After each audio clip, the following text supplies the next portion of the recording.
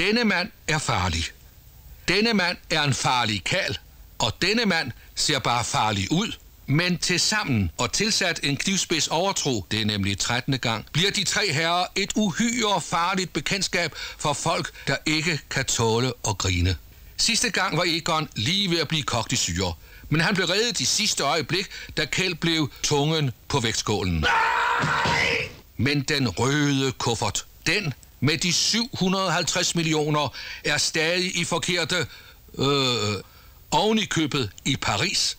Og det må Yvonne selvfølgelig ikke vide noget om. Så, Kjeld. Så er det godt. Nu skal du aldeles ikke begynde på alt det der. Politiet ved derimod det hele. Der er visse sager, der er bedst tjent med ikke at blive opklaret. Alle er bedst tjent med, at de ikke bliver opklaret. Det vil sige, det danske politi, altså det franske politi, forstår slet ingenting. I hvert fald ikke noget af det, Kjeld siger.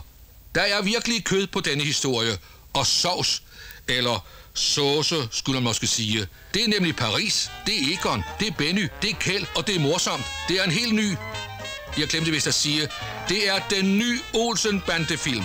Olsen-banden over alle bjerge. Det er Olsen-banden nummer 13. Farligt, spændende, morsomt. Morsomt over alle bjerge, for alle, der kan tåle og grine.